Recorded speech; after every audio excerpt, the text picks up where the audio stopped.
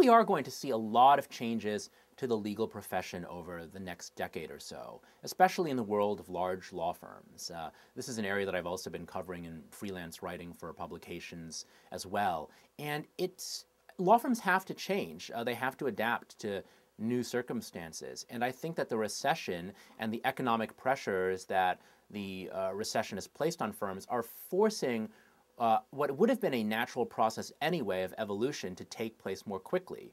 I think that's generally a good thing. I think firms have to figure out how to provide legal services more efficiently because their clients are no longer rich and fat and happy and willing to pay a lot of money for services that they can get more cheaply through, say, outsourcing.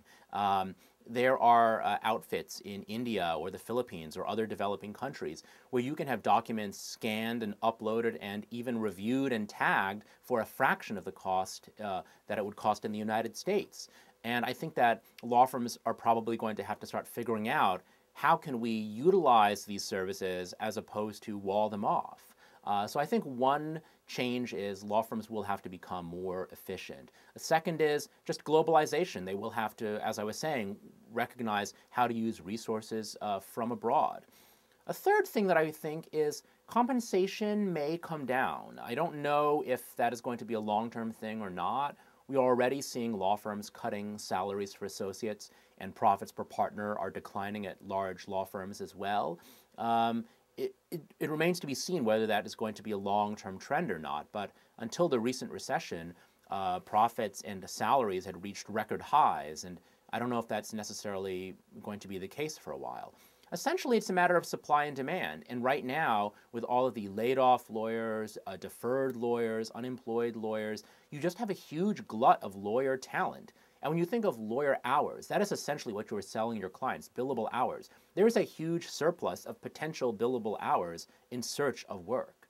And uh, until that imbalance in the market is corrected, um, things are going to be um, things are going to be a little bit grim in, in the world of big law.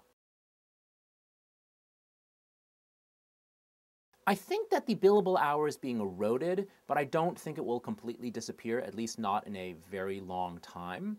Uh, one thing that's interesting is it's sort of like the devil you know. So I've talked to uh, law firm partners who often say, we want to do alternative arrangements. We want to do a contingent fee arrangement, or we want to do a flat fee but with a premium for success. But the clients are a little bit nervous about it because at least the billable hour uh, gives them some kind of metric. So for example, uh, say they pay a firm, say a firm handles a $100 million case for a client, company X suing company Y. And say the firm wants to do it on a contingency. So if they win, they get 30% or 30 million. Well, that might be fine because if they win, it's a great result. But the in-house lawyer might think, well, if I have to present a 30, uh, $30 million legal bill, that will be, you know, my CFO, my finance guy at the company will say, well, that seems really high. Why don't I try to do a billable arrangement and get a discount because oftentimes the firms will give a discount off their rates. And so he can say, well, I got X million dollars in billable time, but I got a discount off it, and therefore I saved us money. Um, so it, the other thing is people still tend to think in billable hours. So even when law firms are coming up with pitches, uh, say they've been asked to submit a proposal to a client for a particular engagement, they will still think in terms of how many hours by how many people at their different rates will this project take to complete. So part of it is trying to figure out what is the alternative to the billable hour.